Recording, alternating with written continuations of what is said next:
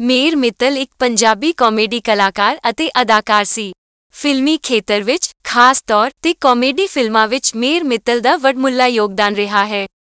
ਮੇਰ ਮਿੱਤਲ ਦਾ ਜਨਮ ਪੰਜਾਬ ਦੇ ਮਾਲਵਾ ਖਿੱਤੇ ਦੇ ਬਠਿੰਡਾ ਜ਼ਿਲ੍ਹਾ ਦੇ ਪਿੰਡ ਚੁੱਗੇ ਖੁਰਦ ਵਿਖੇ 24 ਸਤੰਬਰ 1934 ਨੂੰ ਹੋਇਆ। ਮਿੱਤਲ ਨੇ 10ਵੀਂ ਤੋਂ ਲੈ ਕੇ ਬੀ.ਏ. ਤੱਕ ਦੀ ਪੜ੍ਹਾਈ ਬਠਿੰਡਾ ਤੋਂ ਹੀ ਪ੍ਰਾਪਤ ਕੀਤੀ। ਉਸ ਤੋਂ ਬਾਅਦ ਉਹ ਅਧਿਆਪਕ ਬਣਿਆ ਅਤੇ 2 ਤੋਂ 3 ਸਾਲ ਤੱਕ ਅਧਿਆਪਕ ਰਿਹਾ। ਮਿੱਤਲ ਪੇਸ਼ੇ ਵਜੋਂ ਵਕੀਲ ਸੀ। ਉਸਨੇ ਚੰਡੀਗੜ੍ਹ ਵਿੱਚ 8 ਸਾਲ ਟੈਕਸ ਵਕੀਲ ਵਜੋਂ ਅਭਿਆਸ ਕੀਤਾ। ਪਰ ਉਸ ਅੰਦਰਲੇ ਕਲਾਕਾਰ ਨੇ ਉਸ ਨੂੰ ਪੂਰਨ ਤੌਰ ਤੇ ਅਦਾਕਾਰੀ ਦੇ ਸਪੁਰਦ ਕਰ ਦਿੱਤਾ। ਮੇਰ ਮਿੱਤਲ ਨੇ ਆਪਣਾ ਫਿਲਮੀ ਜੀਵਨ ਫਿਲਮ ਵਲਾਇਤੀ ਬਾਬੂ, ਦੋ ਮਦਾਰੀ ਆਦਿ ਤੋਂ ਸ਼ੁਰੂ ਕਰਕੇ ਹੁਣ ਤੱਕ ਸੈਂਕੜੇ ਫਿਲਮਾਂ ਵਿੱਚ ਕੰਮ ਕੀਤਾ। ਪੰਜਾਬੀ ਫਿਲਮਾਂ ਦੇ ਅਦਾਕਾਰ ਵਰਿੰਦਰ, ਅਦਾਕਾਰਾ, ਪ੍ਰੀਤੀ ਸਪਰੂ ਅਤੇ ਮੇਰ ਮਿੱਤਲ ਦੀ ਤਿਕੜੀ ਪੰਜਾਬੀ ਫਿਲਮਾਂ ਦੀ ਪ੍ਰਸਿੱਧ ਤਿਕੜੀ ਬਣ ਗਈ।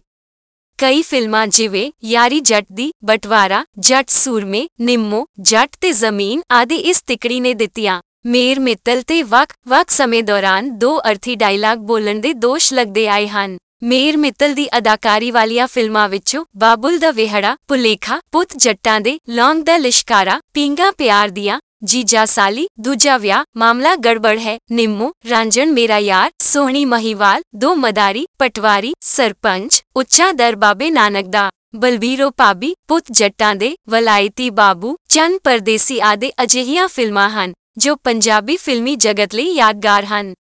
ਇਸ ਤੋਂ ਇਲਾਵਾ ਮੇਰ ਮਿੱਤਲ ਨੇ ਕੁਰਬਾਨੀ ਜੱਟ ਦੀ 1994 ਵਿੱਚ ਧਰਮਿੰਦਰ ਅਤੇ ਗੁਰਦਾਸ ਮਾਨ ਨਾਲ ਵੀ ਕੰਮ ਕੀਤਾ, ਜਿਸ ਦੀ ਨਿਰਮਾਤਾ ਪਰੀਤੀ ਸਪਰੂਸੀ। ਮੇਰ ਮਿੱਤਲ ਨੇ ਦੋ ਫਿਲਮਾਂ, ਅੰਬੇ ਮਾਂ, ਜਗਦੰਬੇ ਮਾਂ ਅਤੇ ਵਲਾਇਤੀ ਬਾਬੂ ਨਿਰਦੇਸ਼ ਵੀ ਕੀਤੀਆਂ। ਮੇਰ ਮਿੱਤਲ ਨੂੰ ਦਾਦਾ ਸਾਹਿਬ ਫਾਲਕੇ ਦੀ 136ਵੀਂ ਜਯੰਤੀ ਮੌਕੇ ਮੁੰਬਈ ਵਿਖੇ ਉਹਨਾਂ ਦੇ ਪੰਜਾਬੀ ਫਿਲਮੀ ਜਗਤ ਲਈ ਦਿੱਤੇ ਯੋਗਦਾਨ ਲਈ ਦਾਦਾ ਸਾਹਿਬ ਫਾਲਕੇ ਅਕਾਦਮੀ ਵੱਲੋਂ ਸਨਮਾਨ ਕੀਤਾ ਗਿਆ।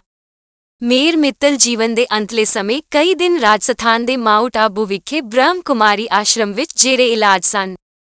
ਉਹਨਾਂ ਦੀ ਮੌਤ 22 ਅਕਤੂਬਰ 2016 ਨੂੰ ਲੰਬਾ ਸਮਾਂ ਬਿਮਾਰ ਰਹਿਣ ਕਰਕੇ ਹੋਈ।